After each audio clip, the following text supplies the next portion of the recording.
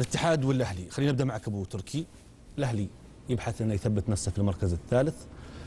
الاتحاد دخل في منطقة الخطر بينه وبين الفتح نقطة واحدة. لو خسر وانتصر الفتح في الجولة ما بعد القادمة حيصير في المركز الرابع عشر في تباين كبير. شوف آه، الفريقين ينطبق عليهم المثل المصري اللي يقول آه، لا تعايرني ولا عايرك. الهم طايلني وطايلك ما تعايرنيش ولا عايرك. الهم طايلني وطايلك ظروف متشابهة مع أفضلية للفريق الأهلاوي. أوكي؟ كنتائج وك آه، آه، ما- يعني في سلم الترتيب. لكن كعمل إداري من الداخل الفريقين كلهم حوسة لخبطة شخبطة. أوكي؟ آه يمكن نقدر نقول إنه الاتحاد ابو, تركي أنا خليتك بس للجزء الأخير بس شتان ترى تتكلم عن الأهلي مركز ثالث. ما قلت شيء ما قلت قلت لك قلت لك. أنا يعني أتكلم عن العمل في- عن. العمل وعن النتائج. يعني برضو الأهلي مركز ثالث لكنه هل هو مرشح أن ينافس الهلال؟ ابدا. الجمهور الأهلاوي تعود أن يكون فريقه بطل. الأهلي هو من يعني تسمى وتوشح طوال ال- الأعوام الماضية بقلعة الكؤوس. وقالوها الزملاء في التقرير وهذه يعني هذه ماركة مسجلة باسمهم. اليوم هل طموح الأهلي انه يكون يدخل البطولة الآسيوية في النسخة المق... ما بعد المقبلة؟ ابدا يا تركي.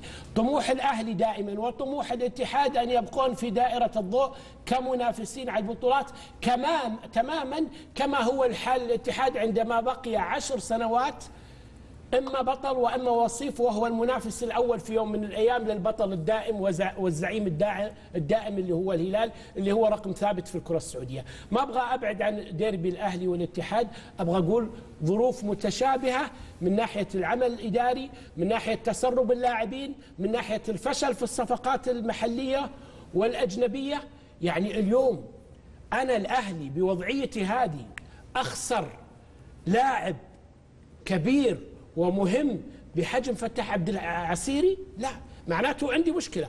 وكاد أن كاد كاد ترى كان قريب قاب قوسين أو أدنى أن يخسر سلمان مؤشر اليوم آه، أعلنوا آه، التجديد الرسمي معه. ربما نقول أن الاتحاد ينتشي نوعا ما بعودة فهد المولد لكن الكلام الآخر إذا قلنا أن اللاعبين شفنا لاعبين النصر في مباراة الهلال هم نجوم لكنهم وكأنهم معتزلين لأنه الابتعاد والتوقف أثر عليهم. ففهد المولد لا تنسى أنه كان موقوف في المنشطات وإلى الآن عائد. هل سيعود إلى حساسية الكرة جو المباراة وتعود بلقاء آه، ديربي أمام الأهلي؟ فرصة تاريخية وأنا شخصيا أتمنى أنه لا يكون يفكر فيها وأن يكون عاطفي. أمامه فرصة تاريخية. أن يجعل منافسه الوحيد OK؟ قريب من قاع الدرجة الأولى OK؟ وبالتالي يتسيد هو الوجود وحده في عروس البحر في جدة. أتوقع أنا اشتاق من- أتوقع يشتاقون البعض. ما ما لهم قناه ما يا ابن الحلال الم- المنافس عطني منافس. اجمالا أنا أبغى أقول بإنه أنا أنا شخصيا لا أتمنى أن يكون الاتحاد بهذا الوضع، أتمنى أن أن يبقى الاتحاد في دائرة الضوء دائما، أتمنى أن يكون منافس هو وغيره من الأندية. لكن إحنا اليوم أمام واقع. ابختم فيها. أمام واقع. الاتحاد فريق كبير لكنه الآن فريق صغير جدا جدا جدا بنتائجه فنيا تتكلم. إيوه فريق ولكن صغير بنتائجه ابن- بنتائجه ولا هو. عملاق كيان أنا كبير. قلت لك فريق كبير بتاريخه صغير جدا بنتائجه وعمله الإداري الآن. وأيضا يعني خليني أقول للموسم الثاني على التوالي الاتحاد ينافس على الهبوط. هذا الاتحاد يا ساتر. نأكد بنتائجه متواضعة ولكن يظل الاتحاد العملاق الكبير. طيحني تراهم مصر ساخنين لا لا أصلاً. إلا طبعا كل لما كل, رأينا- انديتنا أنا بس عشان أكد أكد كلامك كلامك متمم أنا أتفق معك ترى.